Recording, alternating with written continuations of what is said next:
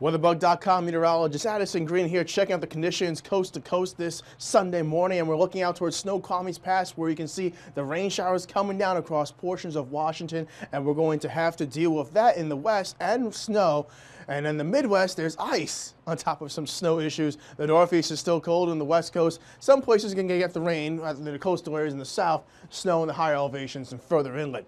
So satellite radar imagery across the Midwest has of Wisconsin.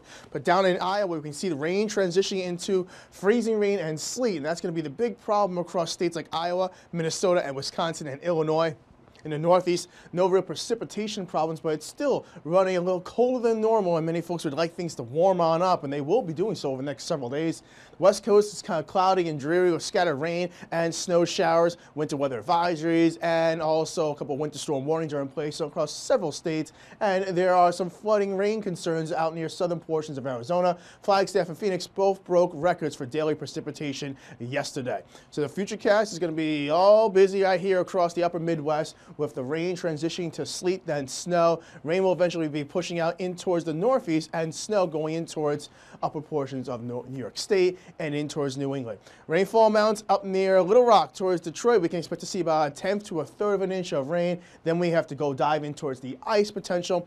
About four tenths of an inch of ice pretty substantial out near Waterloo, Iowa, and snow up across portions of Minnesota in towards Wisconsin can be an average about one to maybe three to six inches of snow.